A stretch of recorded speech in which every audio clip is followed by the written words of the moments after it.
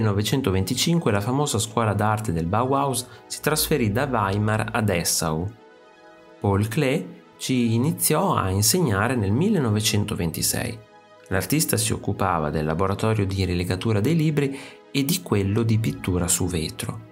Furono però le sue lezioni sulla teoria della forma a lasciare un segno sui propri studenti e sulla sua opera.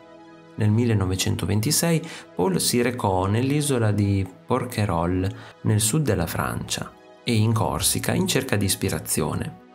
Era alla ricerca di qualcosa che stimolasse la sua armonia interiore, soprattutto di colori che catturassero la sua attenzione. Forse stava pensando agli effetti del viaggio compiuto anni prima con Auguste Mache in Tunisia, che gli diede molta ispirazione. Anche in questo caso non rimase deluso.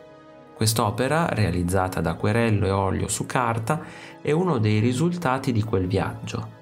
Due terzi dell'immagine presenta una sfumatura marrone fangosa e un terzo una tonalità blu scuro.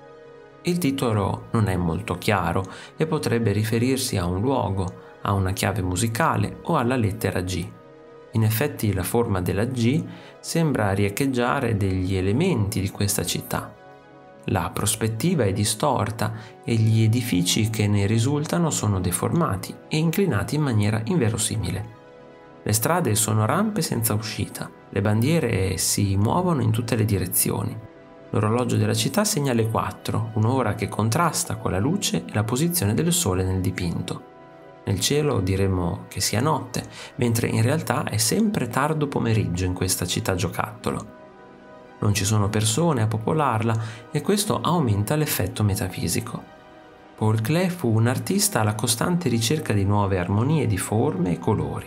Linee, piani di colore e spazio sono messi in moto dall'energia che scaturisce dalla mente dell'artista.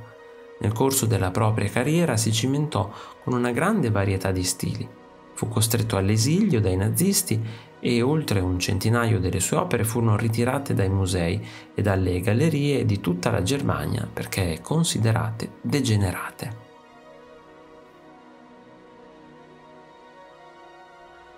Se ti è piaciuto il video iscriviti al canale, lascia like e condividilo con i tuoi amici. Ti invito anche a visitare il mio negozio. Un saluto e al prossimo video di Arte Esplorando.